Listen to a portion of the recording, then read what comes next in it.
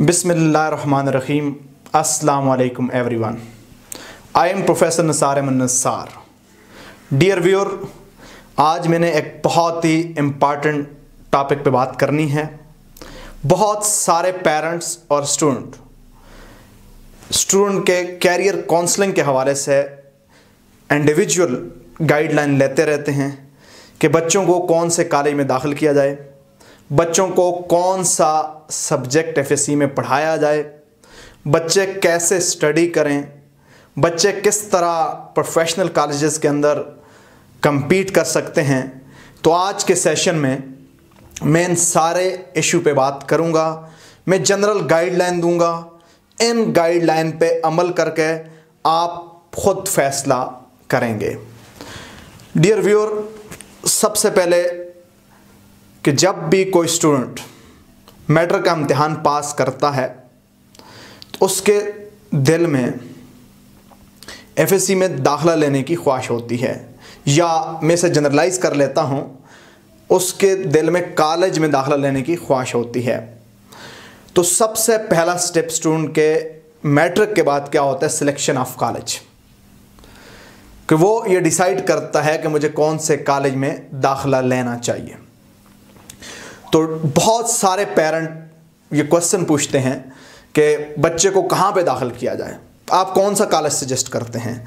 तो मैं college suggest करने के बाद, कुछ कॉलेज सजेस्ट करने के बजाय कॉलेजेस की कुछ करेक्टरिस्टिक पे बात करता हूँ, फिर आपने फैसला खुद करना है। कॉलेज सिलेक्शन में चार पाँच मेन एलिमेंट होते हैं, उनका ख्याल रखा जाए।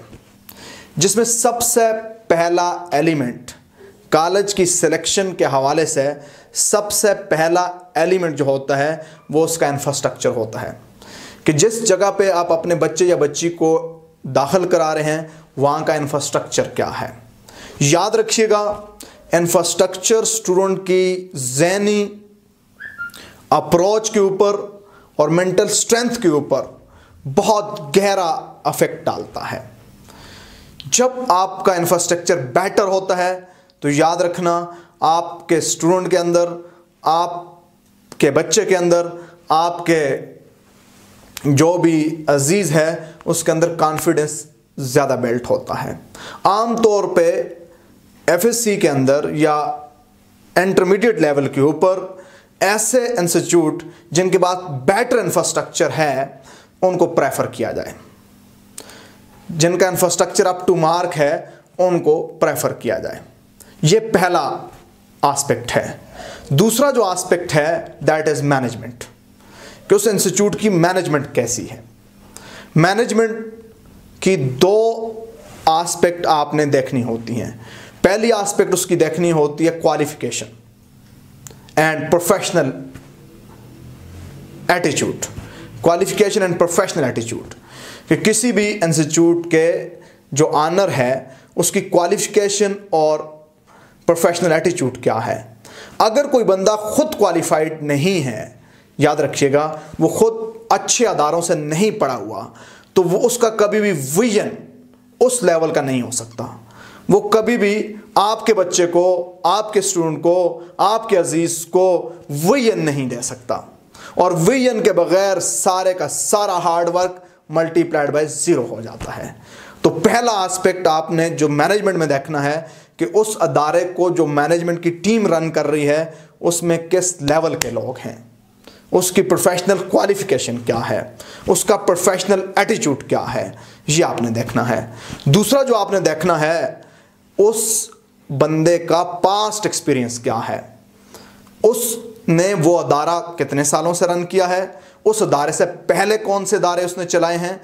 उस अदारे से पहले यहाँ पे उसने एज ए सबॉर्डिनेट या एज ए बॉस काम किया है, उसकी क्या रेपुटेशन है? ये दूसरा आस्पेक्ट आपने देखना होता है।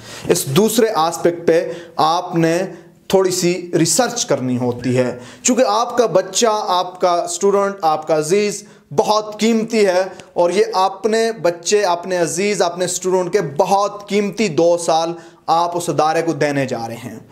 तो इसलिए इस पर ठीक ठाक तहकीक की जाए। ठीक ठाक तहकीक कैसे की जा सकती है?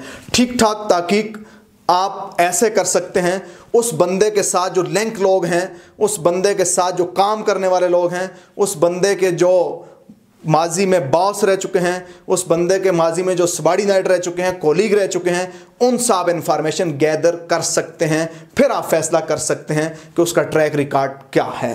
That is another very very important point आप किसी भी कॉलेज के को सिलेक्ट करने के लिए आप उस कॉलेज के मैनेजमेंट, उस कॉलेज के ऑनर्स या उस कॉलेज के जो हेड है, अगर गवर्नमेंट साइड पे है तो उसकी आप रोपोटेशन गैदर करेंगे।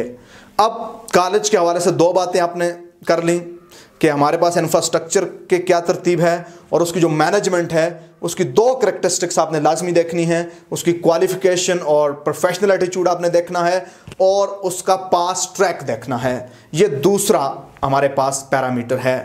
तीसरा पैरामीटर हमारे पास कॉलेज सिलेक्शन का क्या है? That is very very important one that is team in the college teacher जैसा हम कहते हैं, और ये मैन ये मैन पिलर है कि उस कॉलेज की फैकल्टी क्या है। उस कॉलेज की फैकल्टी को लीड कौन कर रहा है?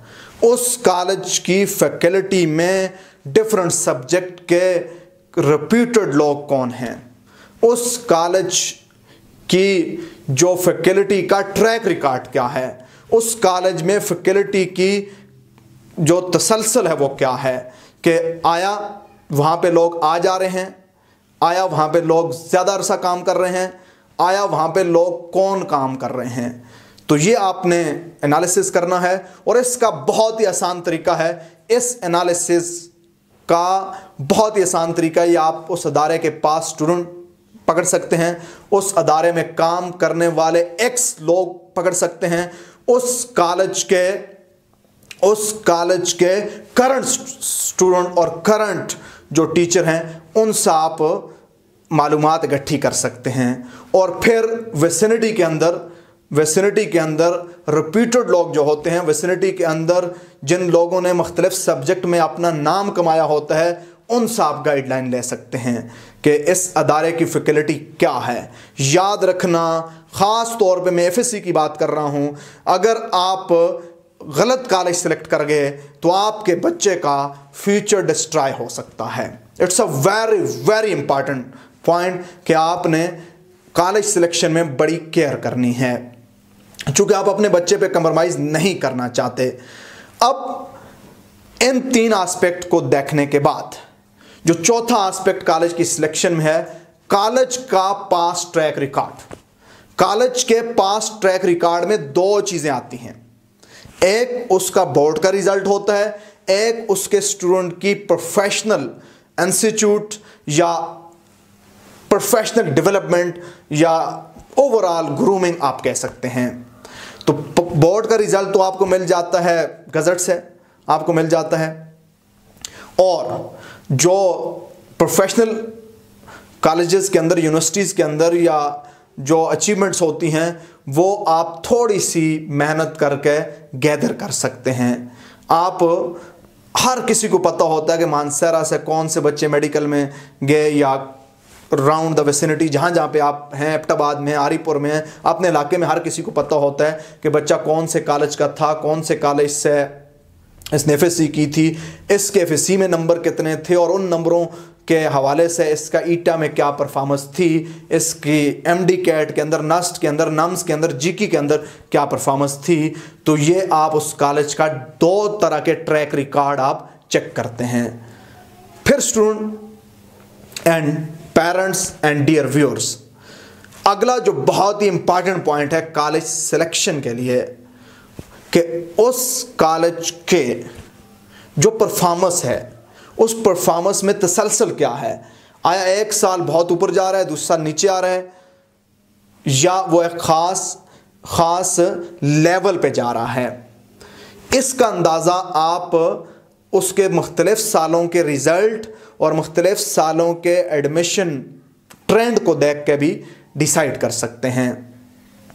तो इन स्टेप को आपने फॉलो करके आपने कॉलेज का इंतखब करना होता है। और उसके साथ साथ एक पॉइंट मैं अपनी तरफ़ से ऐड कर लेता हूँ कि आपने ये भी देखना है कि अप्रोच टू कॉलेज क्या है। कॉलेज आपने ऐसा कॉलेज सेलेक्ट नहीं करना जो बहुत ही दूर हो आपके घर से, जहाँ पे आपके बच्चों को चार घंटे ट्रैवलिंग करनी पड़े तो फिर अगर कॉलेज बहुत बेहतर भी है तो उसका नुकसान हो जाता है, उसका फ़ायदा नहीं रहता। यानी आपने अपने बच्चे, अपने अज़ीज़, अपने छोटे के टाइम का भी ख्याल करना है टाइम मैनेजमेंट भी उस कॉलेज के साथ आपने सोचनी है कि इस कॉलेज में एडमिशन होने के बाद मेरे बच्चे के टाइम मैनेजमेंट किस तरह होगी। That is another very very important point तो ये तो dear student dear parents dear friends ये चंद गाइडलाइन थी अबाउट सिलेक्शन ऑफ़ कॉलेज अब स्टूडेंट अगला पॉइंट आता है कि कॉलेज की सिलेक्शन के बाद आपने सब्जेक्ट डिसाइड करना होता है कि मैंने किस सब्जेक्ट में एडमिशन लेना है। याद रखिएगा, आपने इस हवाले से बहुत ही केयरफुली फैसला करना है। चूँकि आपका गलत फैसला आपको फ्यूचर में आगे जाने से पीछे कर सकता है। तो आपने यह कैसे फैसला किया जाएगा कि मैं कौन सा सब्जेक्ट लूँ? तो स्टूडेंट इसका डिसीज़न आप मुख्तलिफ़ तरीक़ों से कर सकते हैं। नेचुरल टेंडेंसी आपने अंदर नेचुरल टेंडेंसी देखी, देखें। या आप पेरेंट हैं, आपने बच्चे के अंदर नेचुरल टेंडेंसी देखें। उसका हेडन टैलेंट सर्च करने की कोशिश करें। ज़रूरी नहीं है कि हर बच्चा डॉक्टर इंजीनियर बने। हो सकता है एक बच्चा मेडिकल या इंजीनियरिंग के फ़ील्ड में अच्छा ना हो, लेकिन वो एक अच्छा एडवोकेट बन सकता हो। वो एक अच्छा पुलिस ऑफिसर बन सकता हो, वो एक अच्छा बिजनेसमैन बन सकता हो, वो एक अच्छा बैरोक्रेट बन सकता हो। तो हेड एंड टैलेंट आप बच्चे की, आप नेचुरल टेंडेंसी के मुताबिक उसका टैलेंट आइडेंटिफाई करने की कोशिश करें कि उस बच्चे की अंदर किस फ़ील्ड के अंदर टैलेंट है। अब उस टैलेंट को आइडेंटिफाई करने के बाद आप उस तरह का फ़ील्ड सेलेक्ट करेंगे कि बच्चे को मेडिकल लेना है बट एक बच्चे को इंजीनियरिंग लेनी है ह्यूमिनिटी लेनी है डी काम करना है टेक्निकल कॉलेज पे जाना है। अब हिडन टैलेंट कैसे सिलेक्ट किया जा सकता है? हिडन टैलेंट आप सिलेक्ट कर सकते हैं उस बच्चे का मुख्तलिफ़ फ़ील्ड के लोगों के साथ एक्सपोयर करके, फिर उनकी राय लेके। तो आप इस हवाले से गाइडलाइन ले सकते हैं एक्सपर्ट से गाइडलाइन ले सकते हैं। ख़ुद बच्चे पे थोड़ी सी तवज्जो दे के उसकी ट्रेंड चेक करके आप डिसाइड कर सकते हैं। तो that is also very very important कि आपने सब्जेक्ट कौन सा सिलेक्ट करना है। फिर स्टूडेंट आपने अगर सब्जेक्ट सही सिलेक्ट कर लिया तो अगला स्टेप आता है कि आपने स्टडी कैसी करनी है। तो मैं न्यू इंटरमीडिएट के स्टूडेंट से मुखातब हूँ। याद रखिएगा, आज के दौर में कोई भी चीज़ तुक्के पे नहीं होगी। आज के दौर में कोई भी चीज़ बाई चांस नहीं होगी, क्योंकि ये कंपटीशन का दौर है। तो आपने प्लान करना है। आपने सबसे पहले अपना गोल रखना है। गोल आपने बनाना है कि आपने कहाँ तक पहुँचना है। उस गोल को अचीव करने के लिए आपने प्लान बनाना है। उस प्लान को आपने ट्रू स्पिरिट के साथ एग्जीक्यूट करना है। आपने मेहनत करनी है स्मार्ट वर्क करना है। स्मार्ट वर्क के लिए चार चीज़ें ज़रूरी होती हैं। कौन सी चार चीज़ें ज़रूरी होती हैं? पहली जो चीज़ स्मार्ट वर्क के लिए ज़रूरी होती है you must know your goal what is your goal what is your destination ये आपको पता होना चाहिए। You must have plan you must have plan to reach at that destination आपके पास वो प्लान होना चाहिए उस डेस्टिनेशन से, उस डेस्टिनेशन पे पहुँचने के लिए। थर्ड वन कि आपके पास क्या होना चाहिए? स्पिरिट होनी चाहिए कमिटमेंट होनी चाहिए डिवोशन होनी चाहिए हार्ड वर्क होना चाहिए to execute that plan towards your what goal अपने गोल को अचीव करने के लिए, वो प्लान एग्जीक्यूट करना है प्लान को एग्जीक्यूट करने के लिए आप में spirit commitment hard work devotion ये करेक्टरिस्टिक्स होने चाहिए। और स्टूडेंट याद रखना ऑलवेज अपने गोल को अचीव करने के लिए दो तरह के प्लान बनाएँ। एक शॉर्ट टर्म प्लान बनाएँ, एक लॉन्ग टर्म प्लान बनाएँ। तो जब आप प्लान करके एफर्ट करते हैं तो थोड़ी एफर्ट्स आप मैक्सिमम अचीवमेंट बना लेते हैं। अब ये प्लान कैसे बनाएँगे? ये प्लान आप खुद भी बना सकते हैं, या ये प्लान आप किसी एक्सपर्ट के साथ, किसी स्किलफुल बंदे के साथ, किसी एक्सपीरियंस बंदे के साथ आप काउंसलिंग करके भी बना सकते हैं। तो फिर रिज़ल्ट की फ़िक्र आपने नहीं करनी होती। आपका काम है मेहनत करना, कोशिश करना, बाकी रिज़ल्ट आपके हाथ में नहीं होगा। तो स्टूडेंट याद रखिएगा, अल्लाह ताला कुरान मजीद में फरमाते हैं कि मैं बंदे को वही अता करता हूँ जिसकी वो सही करता है, जिसकी वो कोशिश करता है।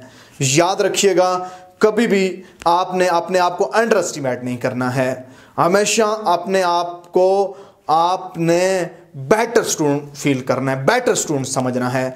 जब बेटर स्टूडेंट समझ कर आप कोशिश करते हैं तो वो वक्त आ जाता है कि आपने जो टारगेट रखा होता है, उस टारगेट को आप क्या कर लेते हैं अचीव कर लेते हैं। डियर स्टूडेंट मेरी वीडियो के नीचे मेरा नंबर मौजूद है। आप अगर किसी किस्म की गाइडलाइन लेना चाहें तो आप मुझसे ये गाइडलाइन ले सकते हैं। मेरा यूट्यूब के ऊपर चैनल है केमिस्ट्री सुपर किंग केमिस्ट्री के हवाले से आप उसको फॉलो कर सकते हैं और आप खुद उसमें फ़र्क महसूस कर सकते हैं। थैंक यू ऑल व्यूअर अगर आपको मेरी ये वीडियो के अंदर जो पैगाम है, इससे कोई फ़ायदा हुआ हो, इसको और दोस्तों तक भी शेयर करें। आप कोई भी टॉपिक सजेस्ट किया करें, जिस पे आपको मसला हो I will try my level best कि मैं आपकी हेल्प करूँ। Stay at home stay safe thank you very much